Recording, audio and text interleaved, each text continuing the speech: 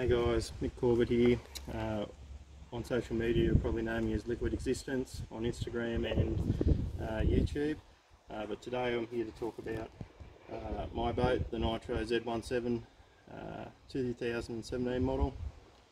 And it's powered by 115 horsepower Pro XS Mercury with command thrust. Uh, the motor has a 22 um, pitch prop, Tempest prop on it. And the good thing about this motor is that it really gets the fiberglass up onto the plane very very quick. Uh, when I got it I was, first thing I was amazed with um, kicking it over too, sounds like you've got a V8 uh, behind you so it's quite a nice feeling. Uh, the motor gets serviced by Disco Marine so thanks Jason and Sean. Uh, just recently they sent me a letter saying that uh, it's time for a service and you know I've messaged Sean so I'll be in there in a few weeks time. But what I'll do now, I'll grab my old man ladder and get up into the boat.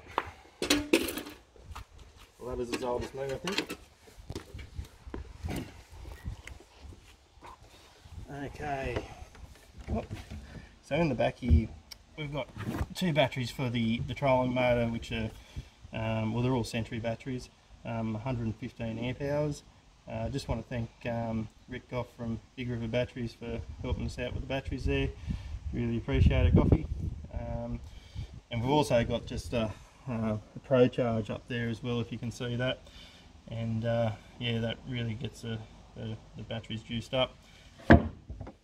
In the next one here, off to the side,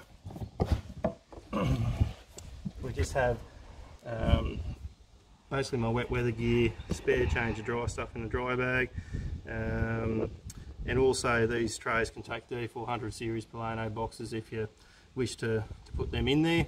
Um, I tend not to, but you could if you if you wanted to. Other side's very similar in the way of the you put tackle boxes in. Uh, so basically just have some jumpers, um, anchor, buckets, that kind of stuff. Really exciting in there. In the middle here we have the live well. Live well um, compared to the last boat I had is good in the fact that uh, it's not a cable, it's just pump in, pump out with a plug. Uh, usually with a cable and fishing in salt water all the time, the cables do tend to seize up over about four or five years. So um, having the pump out option and the plugs a lot more better. Okay, moving through to, I guess the seats hold a bit of storage. Um, basically my iPilot uh, remote there, torch, sunglasses, sunscreen. The other side I just really have a, a, rag in there, nothing exciting. But obviously people could put stuff in there on, on tournament day. Uh, I have a HDS Carbon 9 at the, at the helm.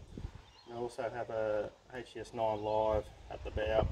Uh, they are um, Ethernet connected, so basically, especially when I'm deep fishing, uh, you, generally with, with plastics, I like to sort of bounce off the two transducers and see, you know, the difference in in uh, structure and, and, picking up the fish within that structure. Um, so moving forward there, you just have your standard um, ice cooler. You know, I just end, end up most things uh, trashy go in there.